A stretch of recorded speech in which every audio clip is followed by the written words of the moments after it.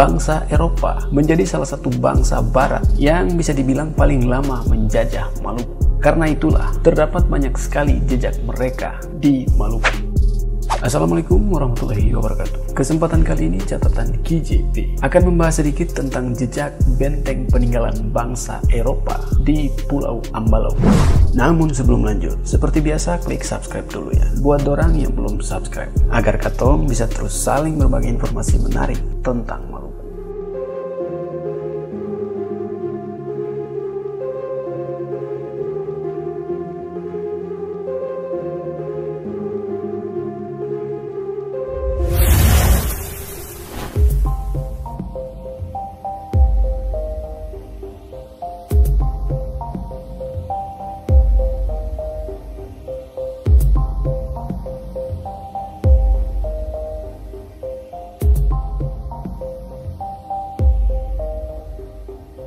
terdapat sebuah benteng di muara sungai Masawoi, Kecamatan Ambalau, Kabupaten Buru Selatan, yang bernama Benteng Salati. Benteng tersebut merupakan benteng peninggalan Belanda. Saat ini, Benteng Salati sudah rubuh dan hampir rata dengan tanah.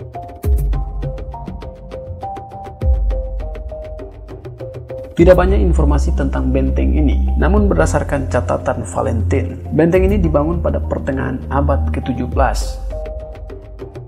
Benteng tersebut menggunakan bahan-bahan yang dipasok secara lokal.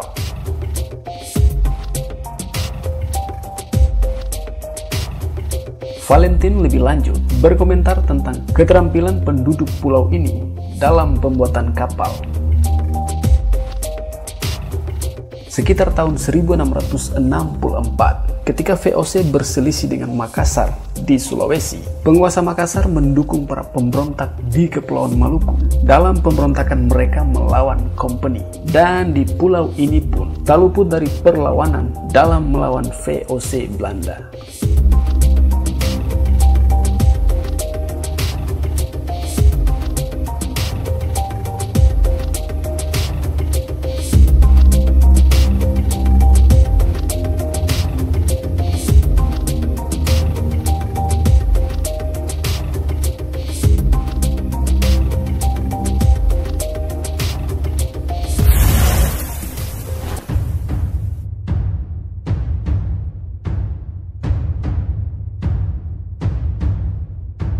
Itulah sedikit informasi tentang jejak benteng peninggalan bangsa Eropa di Pulau Ambalau.